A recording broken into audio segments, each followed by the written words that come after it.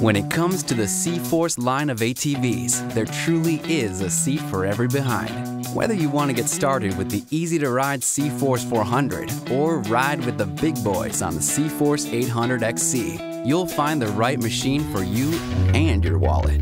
The C-Force 400 is the perfect way to get into the sport without compromising on features and benefits, and it's as easy on the bumps and rocks as it is on your budget. When it's time to move up, choices abound.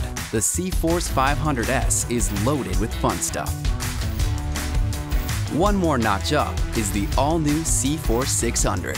This two-up has a powerful new 580cc engine, a long list of extras, plus more goodies like a USB power outlet and handguards, just to name a few.